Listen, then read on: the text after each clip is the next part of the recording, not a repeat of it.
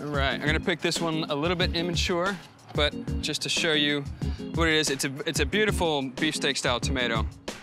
The tale of this tomato begins in the 1930s. Hard times left a West Virginia auto mechanic struggling to pay his mortgage. He looked to his garden for a cash crop and crossbred a perfect tomato. He sold each individual plant in the 1930s for a dollar a piece, which is, you know, unheard of. That's a lot of money back in the 30s. So he sold enough of these tomato plants to pay off his $6,000 mortgage, and hence the name, the mortgage lifter. One reason the tomato fetched such a high price was its phenomenal flavor. The other was its amazing size.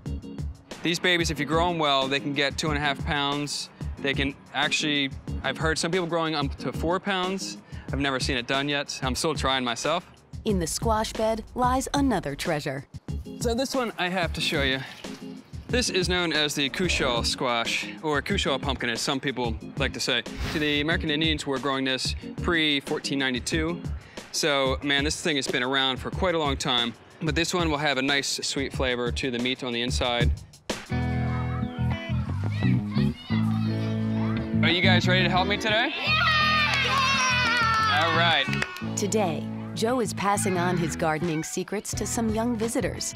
He's teaching them how to prepare the ground for a new crop. See all these roots down here? Yeah. We're gonna be just pulling it straight up like that. You can either hit the roots on the ground to, we wanna get all that soil off of there. Oh, this is great, working with the children. I love it. Any, any age, really, but the five-year-olds, four-year-olds, they just really get excited. They don't mind getting dirty. They don't mind having insects crawling on them. They're like sponges. They just want to absorb it all.